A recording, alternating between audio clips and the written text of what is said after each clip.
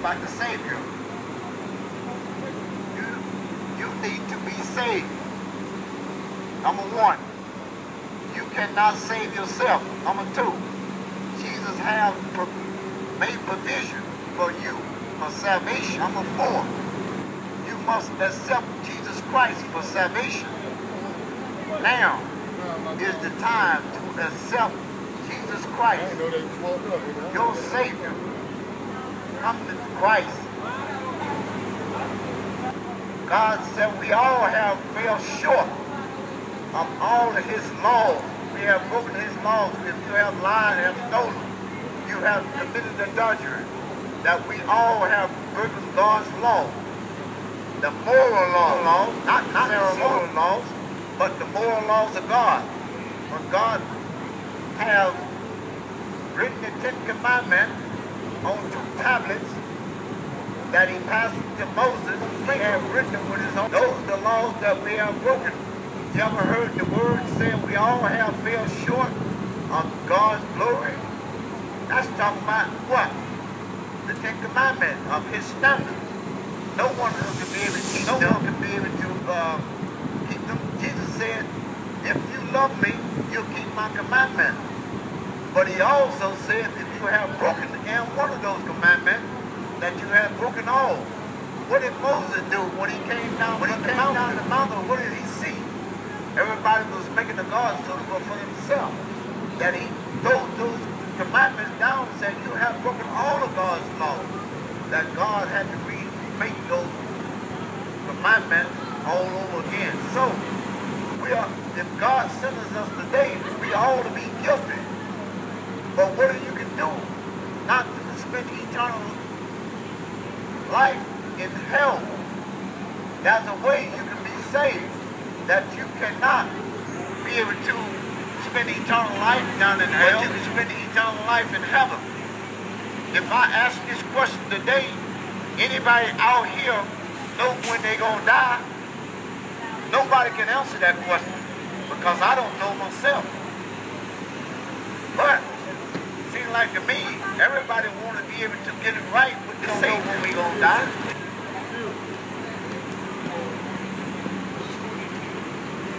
What if you leave this corner now and get hit by a car? Haven't got it right with the Savior. Come to Christ where there's a chance. You may not have a chance tomorrow. If you know you're planning to saying what I'm gonna do tomorrow. But it's God's will if you live tomorrow. You don't I don't know. But there's a local God up here saying repent, ask for forgiveness. You don't have to live in hell. Especially when God man made provision for salvation. The devil want to do three things, ladies and gentlemen. He don't want you to have no relationship with Christ. He come to do three things, to kill, steal, and destroy. Want your soul. That's he don't want you to have no personal relationship with Jesus Christ. That's what he wants you to do. He wants you to live in hell with him. You don't have to do that. But there's a Savior. That God so loved the world that he sent his only begotten Son died upon the cross here is facing us from here. Come to Christ, ladies and gentlemen, where there's a chance. You don't have to live the way as the devil. We all need the Savior. Especially when we have broken God's law, those commandments. We all have lied. We all have stolen. We all have committed adultery in the name of Jesus. Why we do we do give the devil so much credit and that's a Savior can save us from our sin. That we all need the same Christ who loved you. God so loved you. That's really he sent his forgotten son to die for your sin, my sin, that we all need a Savior. But we cannot save ourselves. We can wash ourselves from the outside, but we cannot wash ourselves from the inside. Those commandments will not save you, but it point us, let us know that we sin against a holy God, a righteous God, a God of sin judgment, a God who did a mercy. How are you living today? By the mercy of God, every breath you live, live breathe, that he did, that is God's mercy. I'm not looking for justice, but mercy. I'm looking for his grace. God be mercy upon me. He's mercy on you.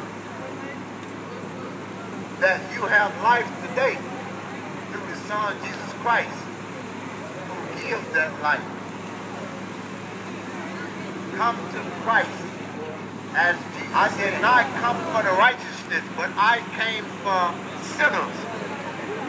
That we need a Savior to be saved.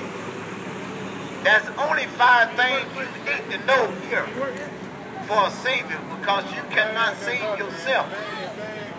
But you can be saved. God have made provision for salvation coming to Christ to live the way Jesus. No man can proclaim his own righteousness, but proclaim Jesus Christ's righteousness. You cannot be righteousness at all.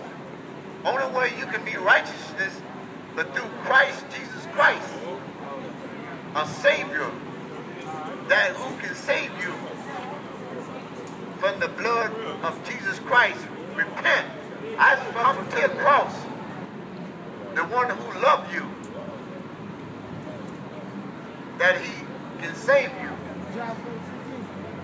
So ladies and gentlemen, man. we're talking about a Savior, Jesus Christ, who provides a Savior. You need a Savior. You cannot save yourself. Jesus has provided salvation. You must accept Jesus Christ for salvation. Believe in the Lord Jesus Christ and you shall be saved.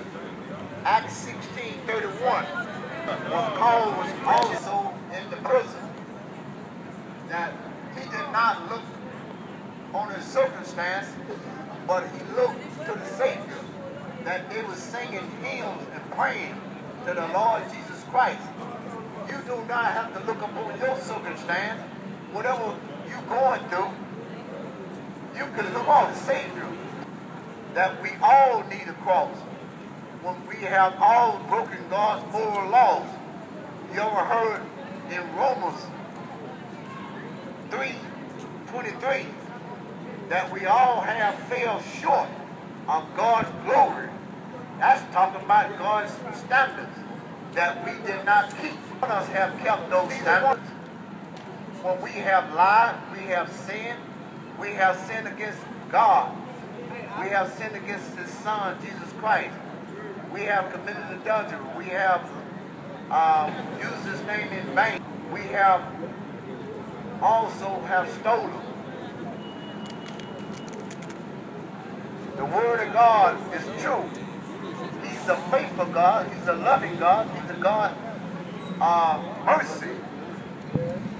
In Ephesians 2 and 4, he said, I am rich in mercy.